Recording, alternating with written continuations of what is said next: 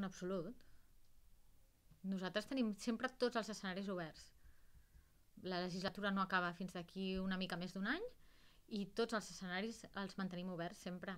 Entre altres coses perquè la situació canvia molt ràpidament d'un moment a un altre i crec que la virtut que com a mínim hem sabut intentar mantenir durant aquests dos anys i mig per part de Junts per Catalunya és la resiliència i la flexibilitat i l'adaptabilitat a la situació que passava i no prendrem decisions anticipades um, en funció del que pugui passar. Ja veurem i anirem fent pas a pas i quan arribem prendrem decisions.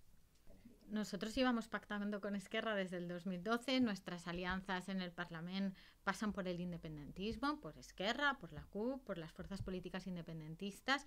No entendemos que desde el Parlamento de Cataluña y desde la Generalitat uh, existiesen otras, uh, otros equilibrios de fuerza. Nosotros pasa por aquí, lo decimos con toda transparencia.